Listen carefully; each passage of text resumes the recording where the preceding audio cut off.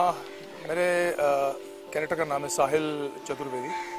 ये साहिल है जो बचपन में मतलब लीप के पहले ये छोटा बच्चा था शो में। शिवांश का मामा है और बहुत ही पॉजिटिव बन के रहा है।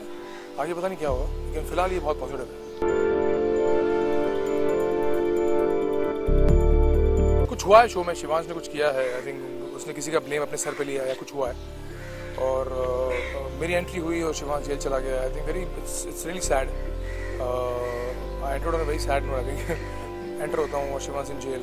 So I think there is some kind of play to this I think and पता नहीं मेरे दिमाग में कुछ नहीं लेकिन राइटर्स नो इट बेटर